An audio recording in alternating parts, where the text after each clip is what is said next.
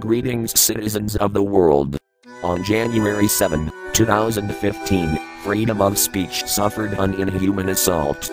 Terrorists broke into the premises of the Charlie Hebdo newspaper and shot in cold blood several satirical cartoon artists, journalists, and two policemen. Disgusted and also shocked, we cannot fall to our knees. It is our responsibility to react. We wish to express our condolences to the families of the victims of this cowardly and despicable act. We are all affected by the death of Cabu, Charb, Tignous and Wolinski, great artists that marked their talent throughout the history of the press and died for freedom. We do not forget the other victims killed and injured in the attack that were the targets of these murderers. It is clear that some people do not want a free world or the inviolable and sacred right to express in any way one's opinions.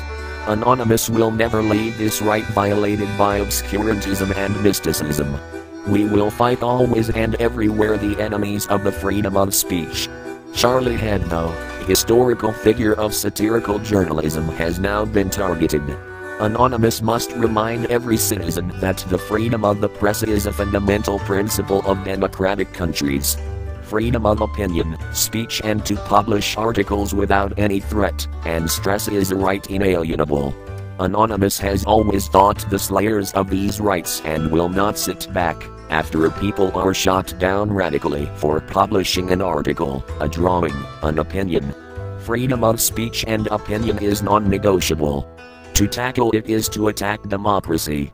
Expect a massive frontal reaction from us, because the struggle for the defense of those freedoms is the foundation of our movement. Operation Charlie Hebdo. Engaged. Nous sommes Charlie.